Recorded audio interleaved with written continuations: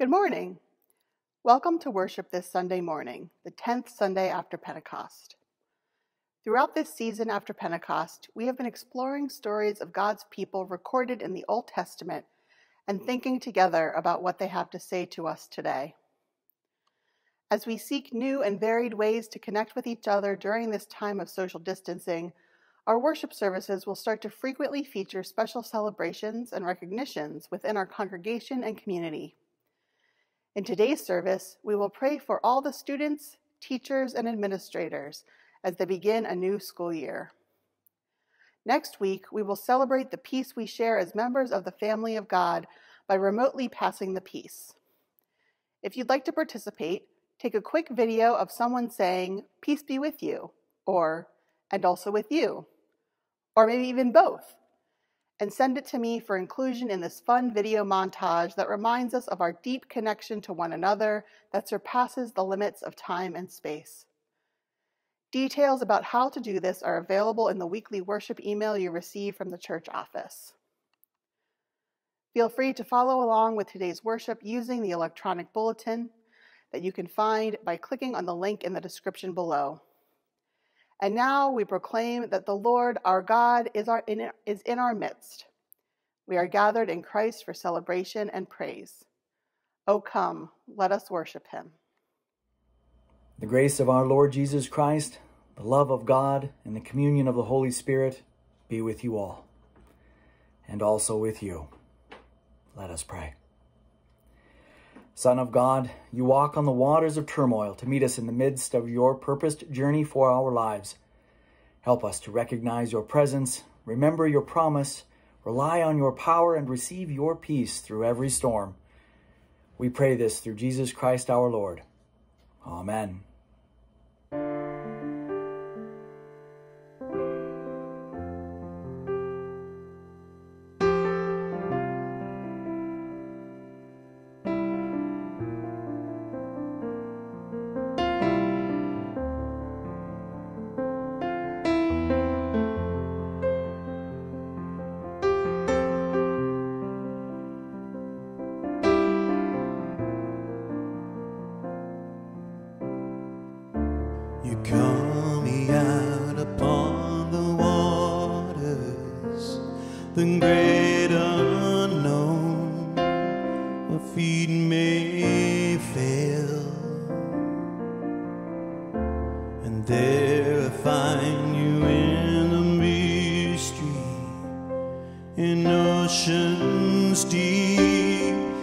nothing.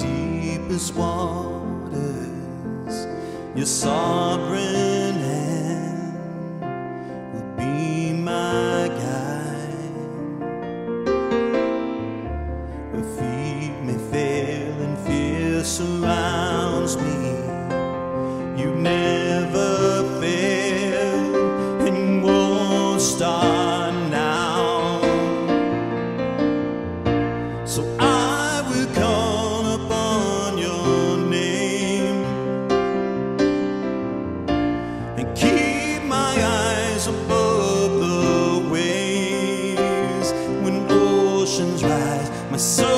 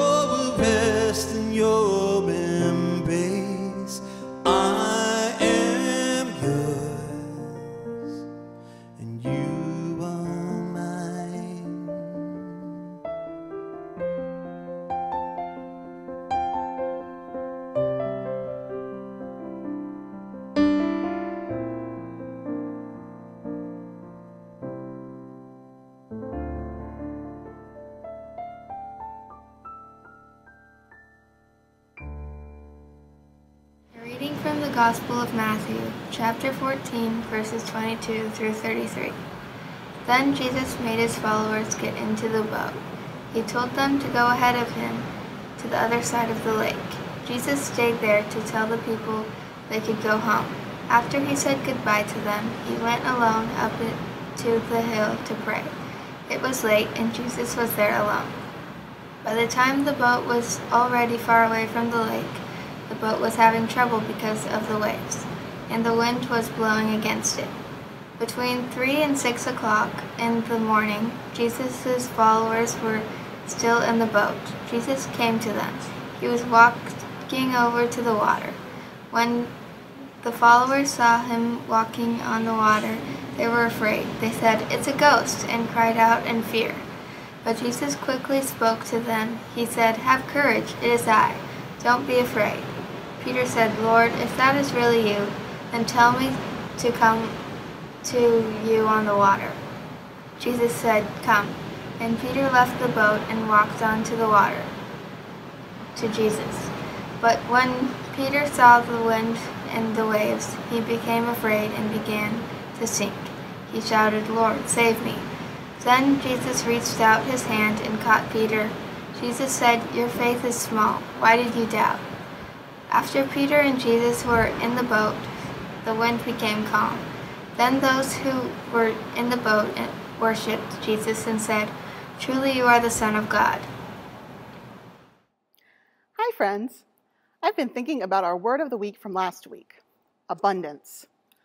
Abundance is when we have enough, even more than enough, of whatever we need. When we have faith in God, we can be brave and bold enough to share what we have, knowing that God will take care of us.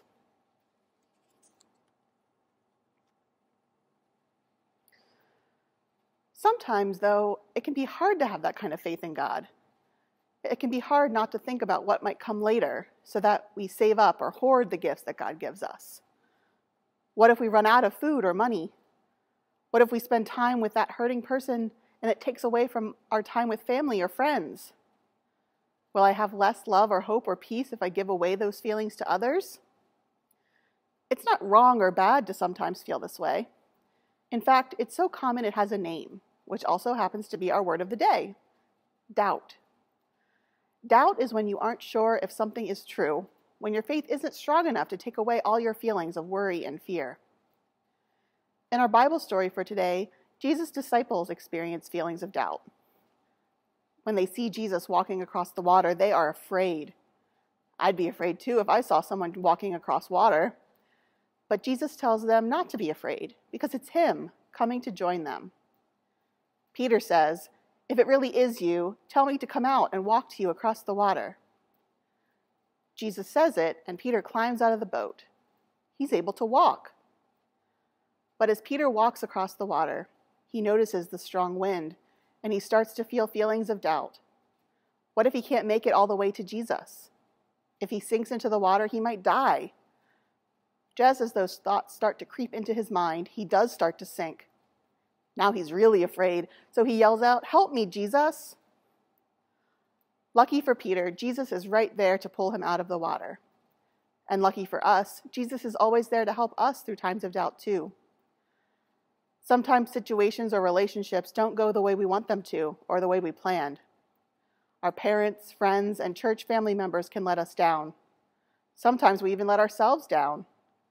But we know that God will never let us down. God is always there to offer comfort and love. Even though we might know that God is trustworthy and faithful, there are always going to be times when each of us feels doubt. Nobody has perfect faith, and having feelings of doubt actually means that you are taking your faith seriously, that you are wrestling with really big questions so that you can understand God better and grow in your relationship with God. But the wonderful thing about God is that God will never abandon you, no matter how much doubt you experience. In fact, God gives us the gift of community so that when we doubt in deep and serious ways, we can know that there is a whole group of people, our faith family, there to hold on to faith for us and with us, to help us ask our questions and seek out answers, to pray with and for us. Isn't that great news? Let's pray together. Dear God, Thank you for giving us space to doubt sometimes, even when we doubt you. Be with those who are currently experiencing doubt. Help us to recognize them and reach out to them so that we can support them in their questions and struggling. Be with all of us always, when we have strong faith and when the worries of the world make us doubt. Thank you, God, for all these things, and thank you for Jesus. Amen. Give thanks to the Lord and pray to him. Tell the nations what he has done. Sing to him, sing praises to him. Tell about all the wonderful things he has done. Be glad that you are his. Let those who ask the Lord for help to be happy. Depend on the Lord and his strength. Always go to him for help. Remember the wonderful things he has done. Remember his miracles and his decisions. You are descendants of his servant Abraham, the children of Jacob, his chosen people. God ordered a time of hunger in the land, and he destroyed all the food. Then he sent a man ahead of them. It was Joseph who was sold as a slave. They put chains around his feet and an iron ring around his neck. Then the time he had spoken of came. The Lord's words proved that Joseph was right. The king of Egypt sent for Joseph and freed him. The ruler of the people set him free. He made him the master of his house. Joseph was in charge of his riches. He could order the pr princes as he wished. He taught the older men to be wise. Praise the Lord. Listen, O people, to the stories of God. Prepare your hearts to hear God's word. Let us pray. God of our present trouble and promised triumph, open our eyes to see you in the midst of our struggles. Open our ears to hear your words of invitation and assurance. Open our hearts to glory in your name and seek strength in your word. through Jesus Christ our Lord. Amen. A reading from Genesis chapter 37. Jacob settled in the land where his father had lived as an alien, the land of Canaan. This is the story of the family of Jacob. Joseph, being 17 years old, was shepherding the flock with his brothers. He was a helper to the sons of Bilhah and Zilpah, his father's wives. And Joseph brought a bad report of them to their father. Now Israel loved Joseph more than any of his other children, because he was the son of his old age, and he had made him a long robe with sleeves. But when his brothers saw that their father loved him more than all his brothers, they hated him and could not speak peaceably to him. Once Joseph had a dream, and when he told it to his brothers, they hated him even more. He said to them, Listen to this dream that I dreamed. There we were, binding sheaves in the field. Suddenly my sheaf rose and stood upright. Then your sheaves gathered around it and bowed down to my sheaf.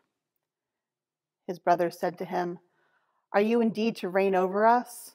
Are you indeed to have dominion over us? So they hated him even more because of his dreams and his words.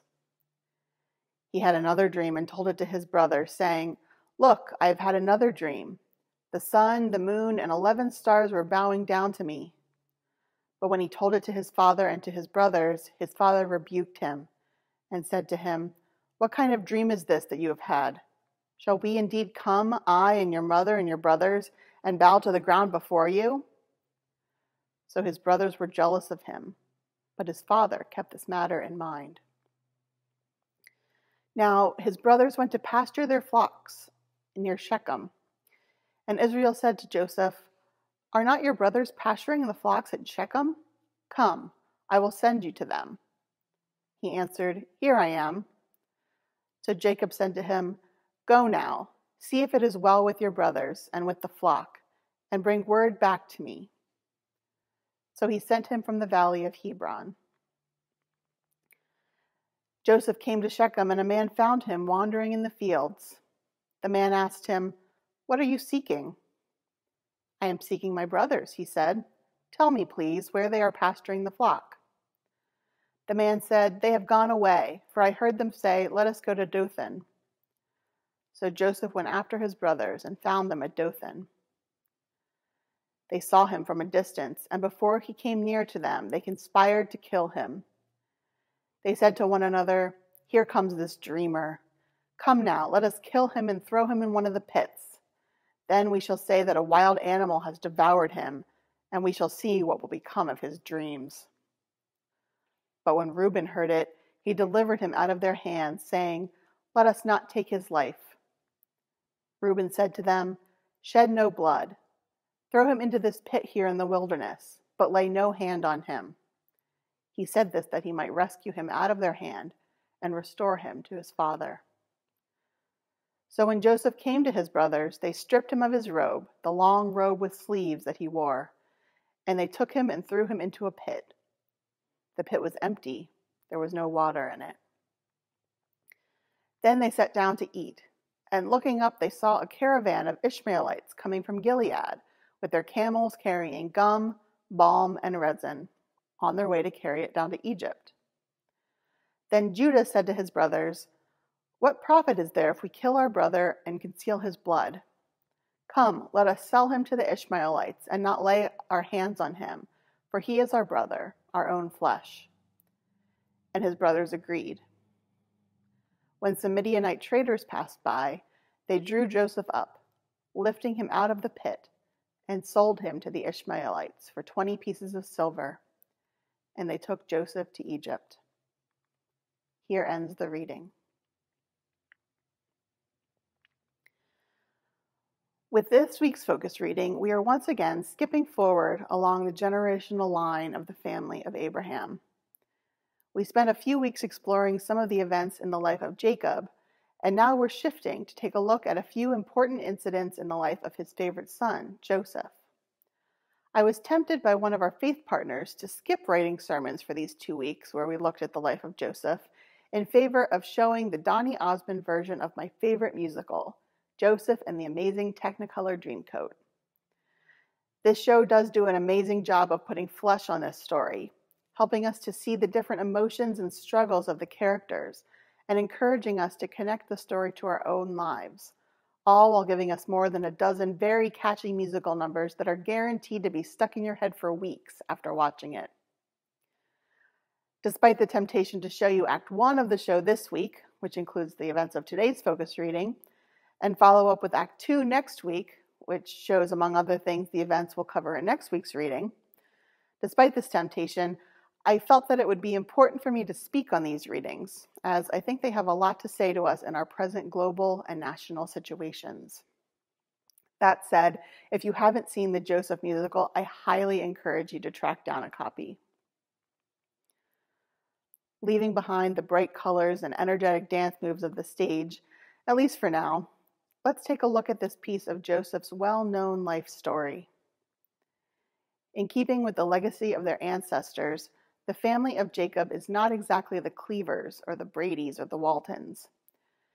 In fact, a lot of the dysfunction of this family can be attributed to, jo- to Jacob himself and his very open favoritism. His decades long infatuation with his second wife, Rachel, to the detriment of his first wife, Leah, has now transferred to Rachel's two children, and especially to her oldest, Joseph. The text tells us that jealousy and resentment caused all of Joseph's brothers to hate him so much that they could not speak peaceably to him.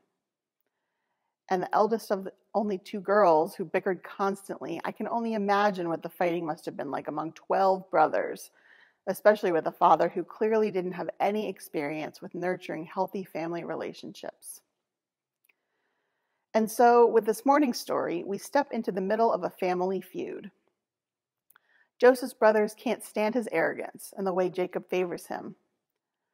The description of the coat he received as having sleeves might even indicate that Jacob didn't require Joseph to work nearly as much as his brothers as a coat with sleeves would get in the way of the hard work of shepherding flocks and growing wheat. As Joseph doesn't make it any easier for his brothers to tolerate him, sharing quite boldly his dreams about how he felt himself superior to his brothers, and even saw himself as the literal center of the universe, with his entire family bowing down to him. No wonder his brothers couldn't stand him. At this point, we reach the main action of today's reading. Jacob sends Joseph to check on his brothers as they tend to the flocks. There's no indication as to why Joseph isn't already out there with them, but we can surmise that he is at home with his father while the rest are working because of that cursed favoritism. So when the brothers see Joseph approaching, they decide that they've had enough. Here comes the dreamer, they say. Let's kill him and throw him in a pit. After some reconsideration, they decide not to kill him, but they throw him in the pit alive until they can decide what to do next. Conveniently, they see some traders traveling in the distance, and they get the idea that they could sell him as a slave and make some money from the deal while still being rid of his annoying arrogance. The story is very brief and matter of fact about the conclusion to this tragic tale. The brothers pull him from the pit, trade him for 20 pieces of silver, and off Joseph goes to Egypt. What are we to make of this story? Isn't this supposed to be the beginning of the bold, faithful, innumerable descendants promised to Abraham? Yes, Abraham and Sarah got off to a rough start, but you'd think by now the special, chosen people of God would have it together just a bit more than this. Fratricide, the killing of a brother, was already dealt with ages ago with Cain and Abel the sons of Jacob, also known as Israel, should be better than this, shouldn't they? If you're new to the biblical narrative, you might think so. But the full story, as it continues on, shows us that none of God's people ever really figure it out. God's people are always selfish and sinful, and that behavior inevitably leads to a lot of suffering. The story doesn't say so at this point, but later it is revealed that Joseph pleaded in anguish for his life, fearful of what would happen to him in Egypt, and that his brothers ignored his cries. And after ripping Joseph's special robe and dousing it in the blood of a goat, they bring even more suffering when they tell their father that Joseph is gone, allowing him to believe that Joseph was eaten by a wild animal. Jacob's sons show how much they love their father by attempting to console him, but it's too late. Jacob's unfair treatment of Joseph, Joseph's arrogance, and the brothers' jealousy have all led to deep suffering for everyone involved in this broken family. At this point, we might ask, where is God in all of this? After all, this is still the same family that just a few generations ago God promised to bless with land and many children. Well, Jacob has the land and the children, but none of it seems to be a blessing to anyone right now. In fact, if we look closely at this reading and the whole chapter into which it fits, we'll see that God isn't mentioned at all. God seems entirely absent. God might seem absent to a lot of us right now, too. Every day there is more mourning as new families grieve the loss of loved ones to the coronavirus. Some people feel threatened by the changes that are being called for in the way we live our lives and in the way we treat people in our country. Other people feel threatened by the lack of change. There is evidence of favoritism, arrogance, and jealousy. There is selfishness, greed, and the deep rejection of the humanity of others who think or act or look different. We too are in the middle of a family feud, as certainly as Jacob and his family were so long ago. And where is God in all of this? Is God absent from our story too? Before we come to that kind of conclusion, let's look back at our text from today. While God is not mentioned by name, there is certainly some evidence of God's presence to be found. First, we see Reuben stepping up to dissuade his brothers from taking the final evil step of murdering their brother.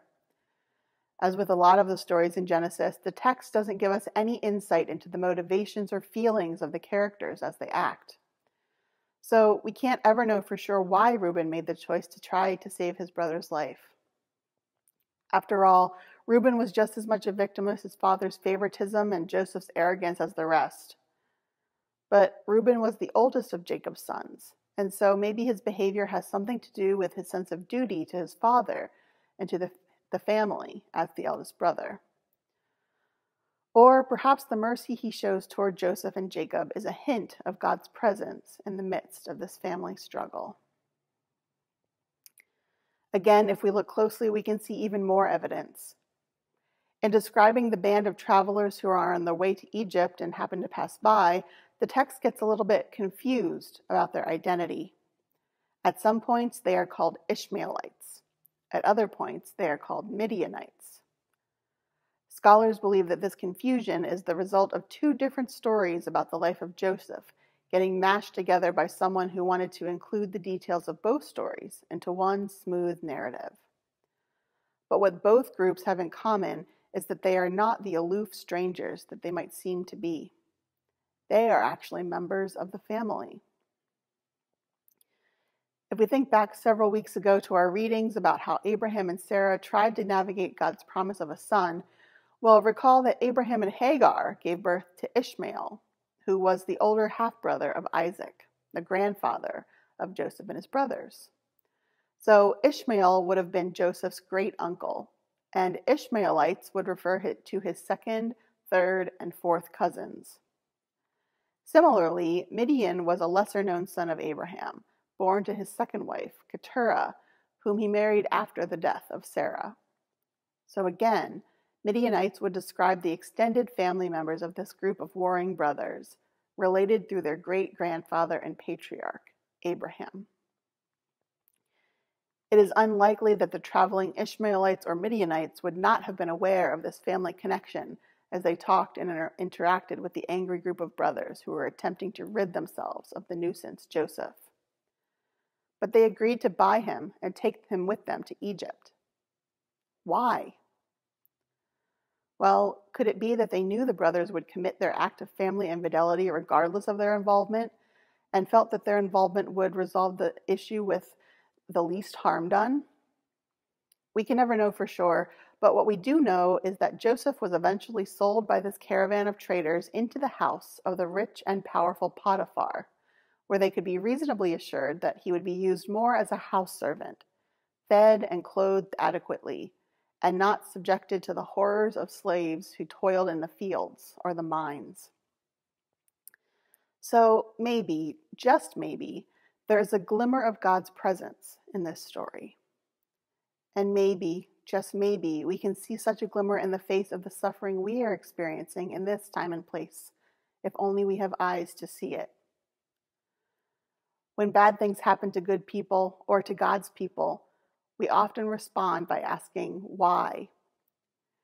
It doesn't make any sense why God would cause such pain and anguish, why God wouldn't intervene to save Joseph from a life of slavery and isolation from his family, why God would allow one kind of virus to infect and kill over half a million people, or allow another kind of virus to sow hate into the hearts of so many who want to see the destruction of their political enemies rather than the reconciliation and justice of God.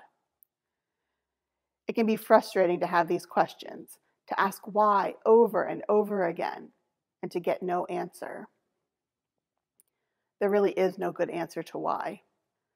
God never explains why disasters happen, why families fight, why individuals and groups hurt each other. God never guarantees that suffering will be prevented or removed. But I think that's because pat answers that God will fix everything quickly do not help. When we suffer, we know that things can never completely go back to how they were. When we suffer, our eyes are open to the reality that the world is not as God intends for it to be. And so instead of empty promises or unsatisfying answers, God gives us the gift of faith. Faith offers confidence that God can be trusted in the midst of suffering, that God is present and active, even if much remains unclear and uncertain. And this trust isn't based on a particular outcome, a particular solution that we might want, no matter how desirable that solution might be. It is based on the nature of God as dependable, faithful, loving, and just. Because we know God, we can join the psalmist in declaring, Surely his salvation is at hand. Steadfast love and faithfulness will meet. Righteousness and peace will kiss each other. Faithfulness will spring up from the ground, and righteousness will look down from the sky. We know that this is the true end of the story because we know that God has promised to reconcile and renew all things. If it hasn't yet been reconciled, keep going. The story isn't over yet. For this comforting and uplifting truth, thanks be to God. Amen.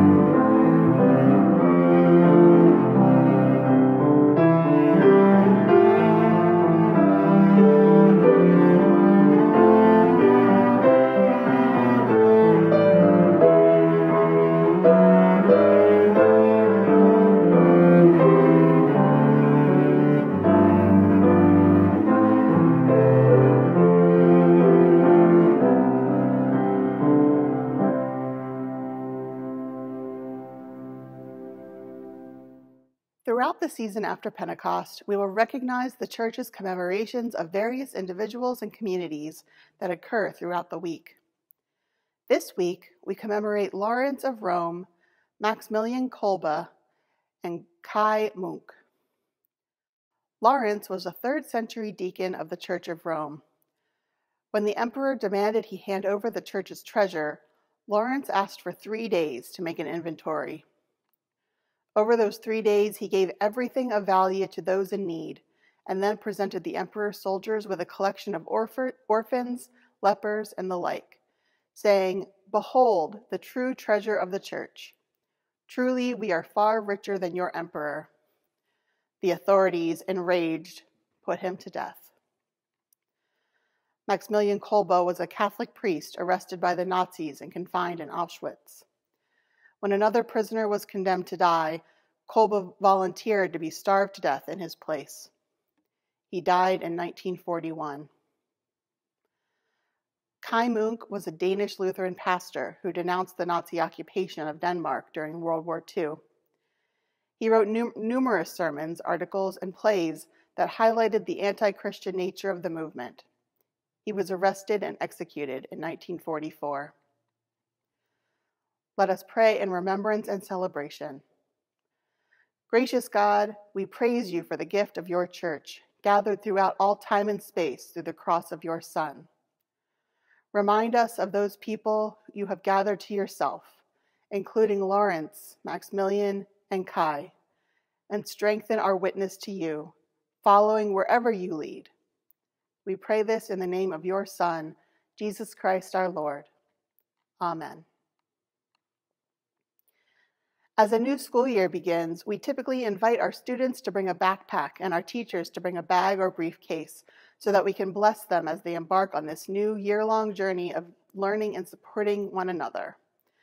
This year, there are many disruptions to the regular rhythm of the school year for many of our students, teachers, staff people, and administrators. Please join me this morning as we pray for all those who have ret- returned or are returning to school in some form in coming weeks. As I pray, we will see pictures of some of the students and school staff for whom we pray. Lord of all knowledge, we thank you for the gift of education and for the opportunity to grow in our knowledge and wisdom every day. As schools resume or prepare to resume their activities, we pray for all teachers, administrators, staff members, and students. Be close to the students, teachers, and staff people who are returning to an in person school model. Help them to cope with inevitable changes, to support each other through disappointments when certain activities don't look quite the same as they used to. Give them wisdom and patience to behave in ways that support the safety and learning of all. God of security, hear our prayer. Be close to the students, teachers, and staff people who are navigating new ways of learning, whether through homeschool, remote learning, or a hybrid model. Strengthen their resolve and give them creative and patient minds to accomplish your work in their individual vocations as students or leaders. God of comfort, hear our prayer.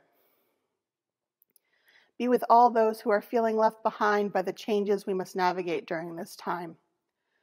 Open our eyes to ways we can support those for whom this school year presents new challenges working parents, low income students, students and teachers and staff with compromised immune systems. Give strength to those and all people who are in need of prayer, especially those we now name aloud or in the silence of our hearts.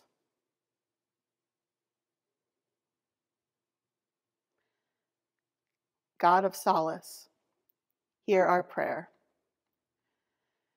In the certain hope that nothing can separate us from your love, O God, we lift these prayers and those sighs that are too deep for words to you. Through Jesus Christ our Lord. Amen. Gathered into one by the Holy Spirit, let us pray as Jesus taught us. Our Father, who art in heaven, hallowed be thy name.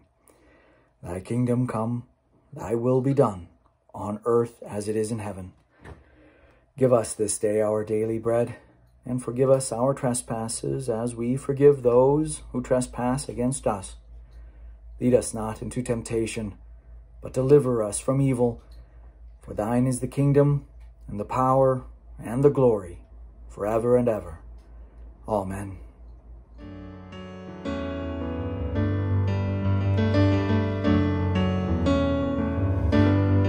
Blessed assurance, Jesus is mine. Oh, what a foretaste of glory divine, ever salvation, purchase of God,